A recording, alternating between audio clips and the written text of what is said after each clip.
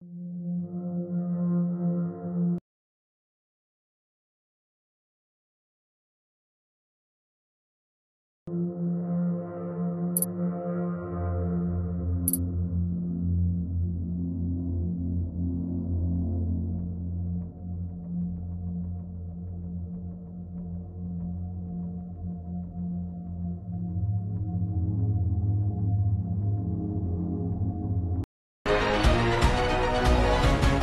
Hello everyone, reporting live for World News.